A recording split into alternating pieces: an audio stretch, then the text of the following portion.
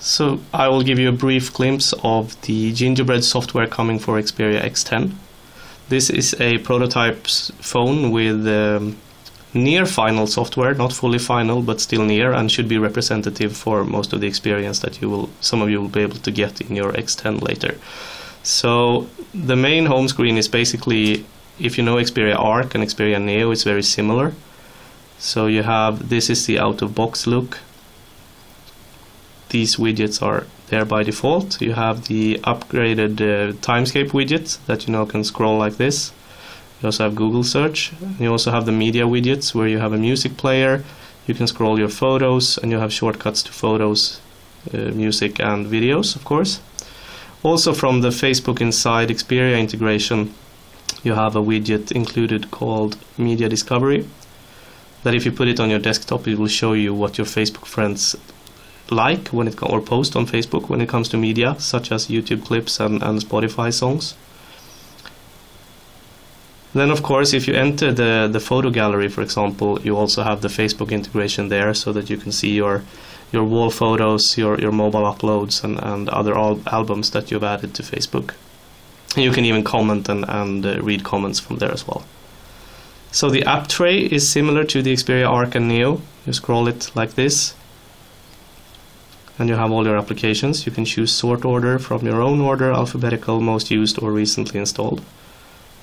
And then you start your applications from there. And of course, as said before, these uh, icons down here, as just as on Xperia Arc and Xperia Neo, they are highly, highly customizable. So if I want something else here or a folder, as in this case, I could just add stuff like like uh, as I want to. Something that I'm really glad for is the camera interface. Uh, as we said back in March, the, the plan back then was to use the, the standard Android camera interface, but our developers have been working on it, so now we actually have the, the same interface as in the current version of X10. So you will have the camera that you that you're already used to, just as in, in the current X10 with the, the, normal features like face detection, single autofocus, multi autofocus, etc. That should give you some, some more features than the, than the standard Android camera. You also have HD video recording, uh, just as in the current software of, of uh, Xperia X10. In the settings menu, you have a few new things coming with the, the later version of Android, which is especially perhaps the the uh, tethering opportunities that you could use USB tethering or Wi-Fi hotspot tethering to actually use your phone as a an internet router for your PC. You also have the possibility of moving applications to the SD card, which is new for for the later versions of Android.